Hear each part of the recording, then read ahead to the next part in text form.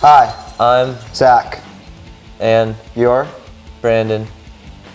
and You're watching Mosh. Cam. There was, I mean, our record release show that we did in LA was pretty awesome because it was like we finally had our record out. It was like a hometown venue called the Echo, and all of our friends were there, and like that was actually there's a like our video for Wait for the Man I think is being played in Australia or something. That video is from that show, and so it was just this crazy kind of like.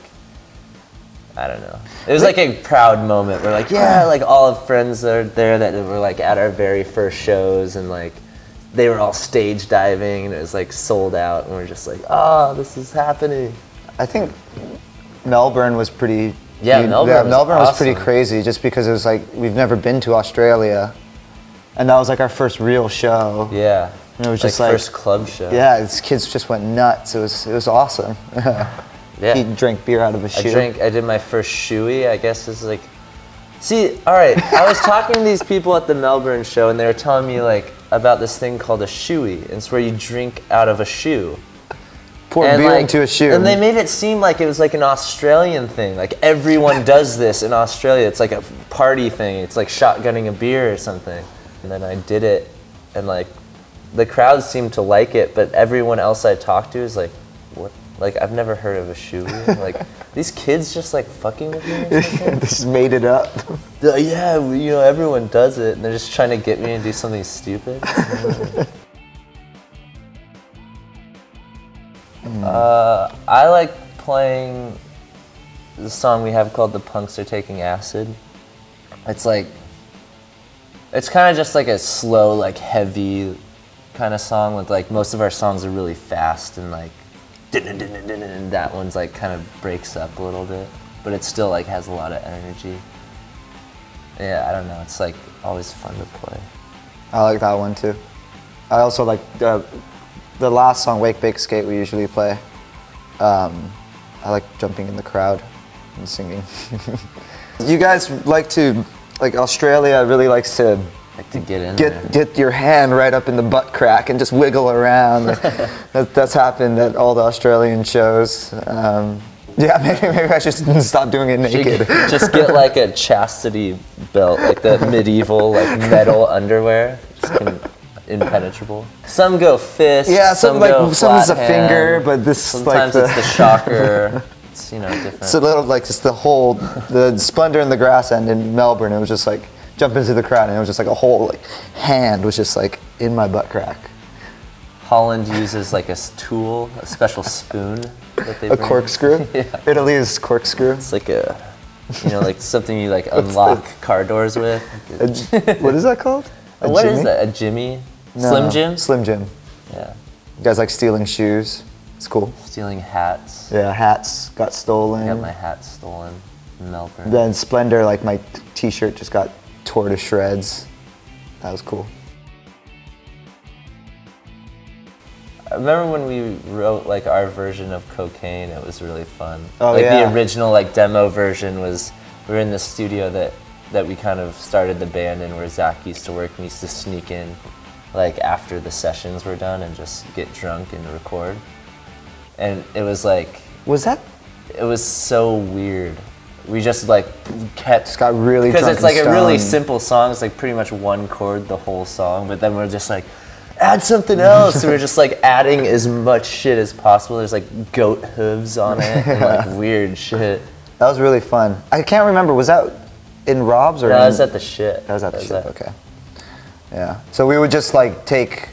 I would record a band during the day, and then at, they'd leave at night, and I'd call them up, and be like, "All right, dude, we got a couple hours to record a song just before they come back in," you know. Yeah. So we'd So go we'd into like the sneak studio. in and we'd use their like Their setup, sound. You know, like they'd have all their gear set up and we just play on their stuff. We have cigarettes on our rider, but we never, Never get- get, yeah, never get So that's always kind of nice when we do. We're like, oh, I think it's like certain. Well, I know in the U.S. like it's kind of like frowned upon. Like they like no one puts cigarettes on their rider because it's kind of just like a weird thing. But I heard in Mexico, if you put cocaine, you get it. Yeah, our friends played in Tijuana and they like put it as like a joke, I think, or kind of, or just like Not really. yeah. I mean, they did it I all. don't think it was a joke. Drink, Yeah, it's not. That's pretty much it. drink. Just like We went around. on. We went on tour with the. Our first tour we did was with the Hives in America, and um, they would give us our rider. Like we'd ask for like a bottle of Jameson, you know, every show, and it would get to the point where everybody would just like get out of the van and try to go be the first one to the bottle of Jameson, and get like a big glass and just fill it up to the top because like Yeah, you had to like reserve. Yes, your- get your reserve your tank drink. of like drinks and. It's pretty know. funny when just like people yell "fuck you" like after you say something. It's like, like thanks for having us, and they're just like "fuck you." It's like, That's, like that's a they're joking, one. you know. It's not like it's, they're not saying it in a mean way, but it's just it's always funny to me when like people do that. Like, man, you guys are rad. Thanks for having us. Shut up. Fuck you. Play. like, I always, Always think crack that's up at those. I got oh, robbed Oh, yeah. by a like a hooker in Memphis, Tennessee that I wasn't like soliciting at all. She like broke Sure. into our hotel room and like it was five of us in a hotel room and she like barged in and was like we basically got molested by this crazy hooker that like crackhead hooker that broke into our room and then she robbed me. And Yeah, she she, woke me up. Took like his she stole my wallet. She like took off her pants. Yeah, and she was like, booty, clapping, and stuff, and we were just like, "What is going on?"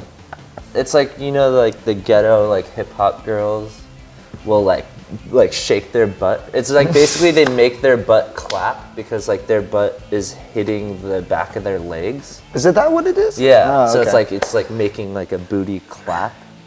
So that's that was like our first crazy one, and that was before we had ever played a Yeah. show on our first tour. It was like we were driving to our first show on tour, and that happened. we were like, "Is this what tour is gonna be like? We're gonna get robbed by hookers all the time."